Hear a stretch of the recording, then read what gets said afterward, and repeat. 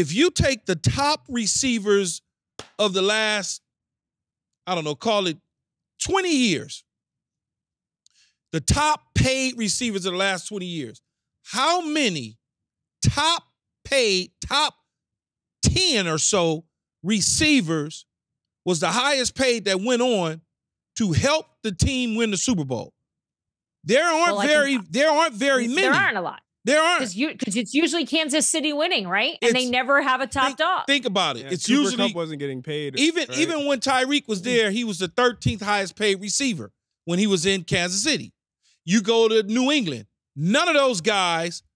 Chris Hogan was about the most expensive paid receiver in New York. I mean, in in in New England's New England. little run that they had. It was Chris Hogan. It wasn't Julian Edelman. It wasn't Amendola. Chris Hogan made money, but he wasn't. He was like at that time he was like the 35th highest paid wide receiver. You got to go all the way back to like myself and Marvin Harrison Mhm. as the top money grabbers to win Super Bowls at that particular time. So when you think about receivers, Mhm. Minnesota ain't re- they're not winning a Super Bowl right now in in this current situation, but their receivers making 30 plus million dollars. So you start to think about it, right? AJ Brown was a high paid receiver, but they didn't win the Super Bowl in Philadelphia. I'm talking about winning Super Bowl winning wide receivers. Well, that gets us to CeeDee Lamb, right? CeeDee Lamb wants to be paid top money. He You- wants you to gotta- make you gotta Justin pay him, though. Jefferson. You got to pay him. There's nothing to even talk about. There's nothing to talk about. Here's the blueprint, Dianna. I need to be paid. I need to be paid. If you paying him 100 guaranteed and whatever the final number is, we need to start there. That's just the the the conversation. DJ Moore just got 27 million. If you count DJ Moore's contract this year plus the 4-year extension, he'll make 90 plus million dollars of guaranteed money over the next 5 years.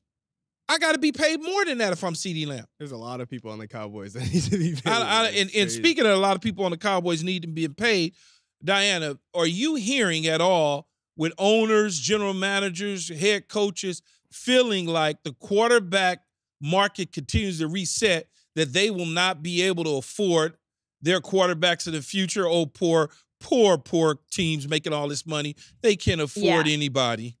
I know we had Stephen Jones on Scoop City um, a week and a half ago, and look, he he laid it out essentially, saying what he's been saying to the media openly, which is we we want we want all these guys to be Cowboys, but we have to do a bit of a Houdini act here, which you know you the, the word Houdini I thought was interesting, right? Because the Houdini Houdini avoided, right?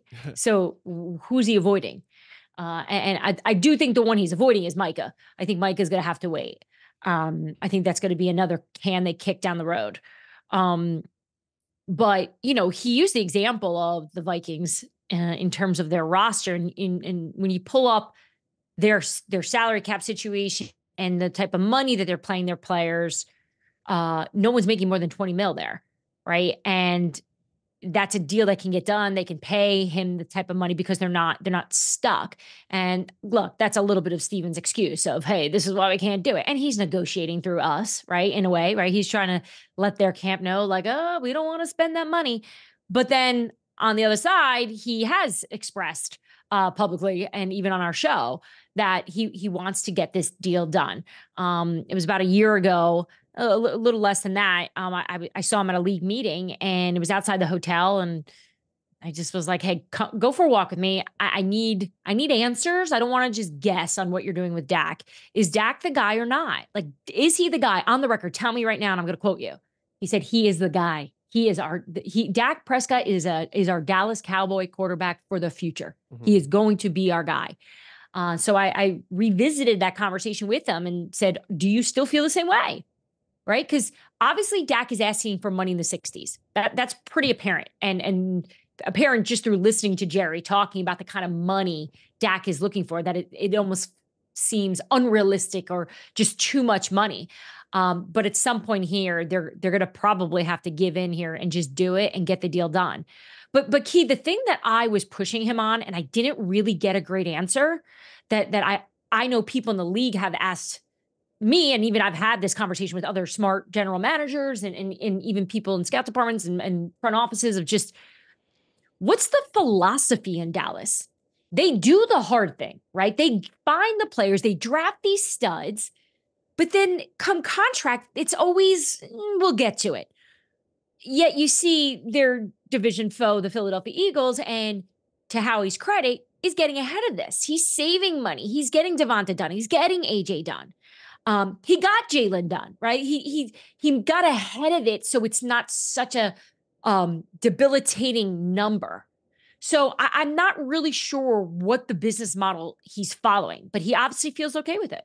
Yeah, they, they look traditionally, historically, Keyshawn, Dianna, they pay their players. The Cowboys aren't cheap. I don't know why people think that they're like cheap and they don't want to pay. They draft, like you said, they uh, get these guys to play at high levels. They go to Pro Bowls, they're all pros. They pay their players. Nobody necessarily walks out of the door on the Dallas. They pay them all. It just the way that they go about doing it. And Jerry doesn't mind paying a little bit more by waiting. It takes two to tangle. They've had offers out to CeeDee Lamb, but at the end of the day, CeeDee Lamb is like, yo, I need to make this amount of money because you hear who what everybody else is making or potentially could be making in the marketplace.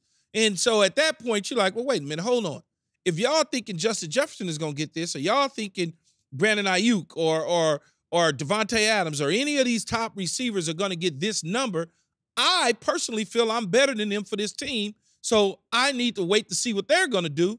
And I need to see what the actual contract looks like. What's the present value? Am I being paid in 12 months on my signing bonus? Or are you trying to stretch me out over the course of the contract? all of those sort of things. So it takes two to tangle. I'm never going to be one to say that the Dallas Cowboys don't like to pay because they do wind up paying. So Dianna, it, oh, go ahead. My, I was just going to ask Key real quickly. So, so do you think they're able to to get CeeDee and Dak done by the start of the season? Like, yeah, absolutely, that, absolutely, one hundred percent. I feel the CeeDee same. Lamb will, I feel same. CeeDee Lamb will be done. Proposals are in the offices of both of their representations of representatives. Now they just waiting on them to go back and forth, play the game, move some things around. That's all they waiting on. CeeDee, the Dallas Cowboys will start off two and four without CeeDee Lamb in the lineup. They might be Correct. one and five before the bye going to San Francisco without CeeDee Lamb in the lineup. We absolutely hope you enjoyed this video.